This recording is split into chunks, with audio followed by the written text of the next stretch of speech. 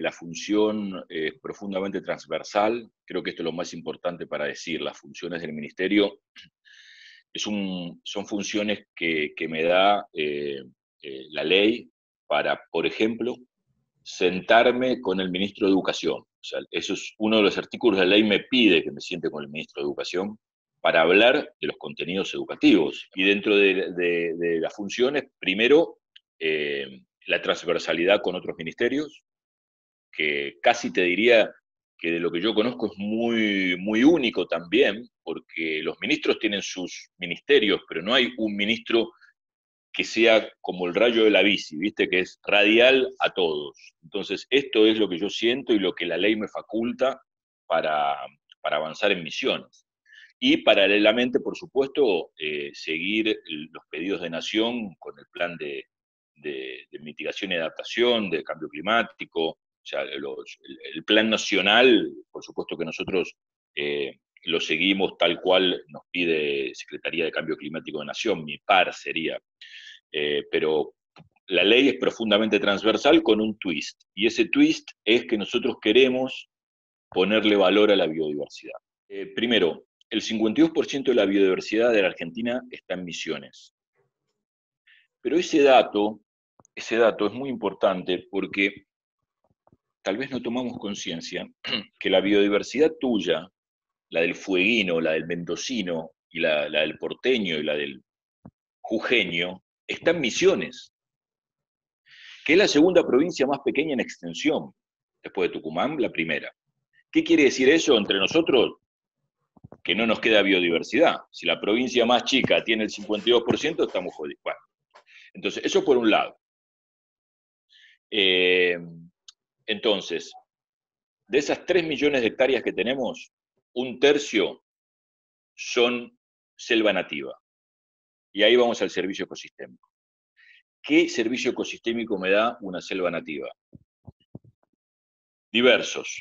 El más simple, capturo el árbol, sale el caño de escape, sale dióxido de carbono de caño de escape, el árbol lo captura, lo procesa y lo transforma en oxígeno.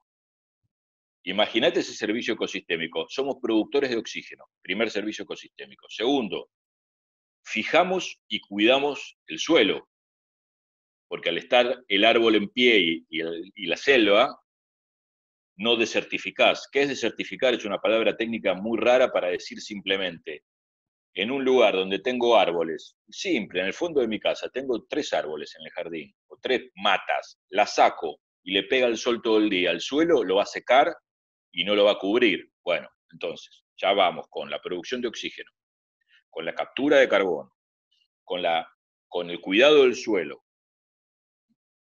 con el tema de la biodiversidad, porque ese millón de hectáreas, ese bosque, a vos lo que hace es que abajo vivan bichos que van desde el yaguareté hasta, hasta las bacterias, ¿no? O sea, es toda la cadena otro servicio ecosistémico.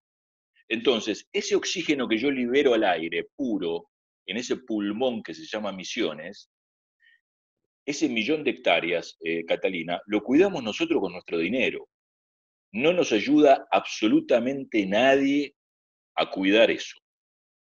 Y para mí eso, primero es una injusticia, después es una vergüenza y después es de modé.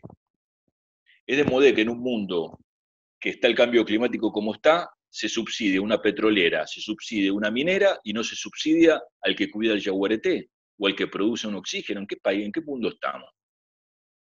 Entonces, de eso se trata. La financiación internacional, eh, vamos a ponerle un nombre y apellido, Naciones Unidas, eh, hasta el día de hoy se ha ocupado de países.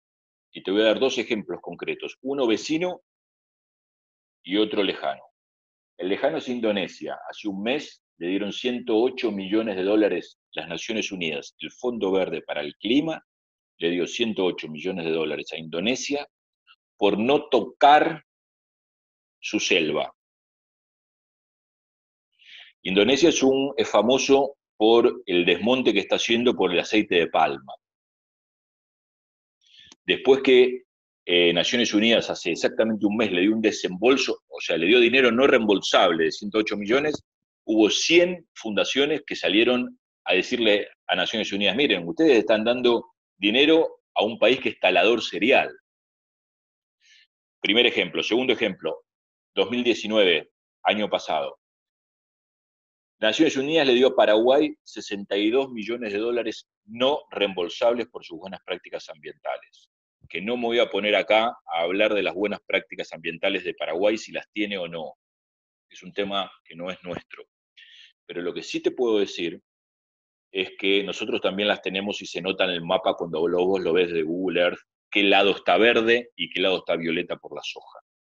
¿Qué te quiero decir con esto? Para cerrar, que Naciones Unidas viene financiando a países. Y este tema, Catalina, es de abajo para arriba y no es de arriba para abajo. Yo me, sé que me voy a sentar con Antonio Guterres, el secretario general de Naciones Unidas, y le voy a decir esto mismo que te estoy diciendo a vos.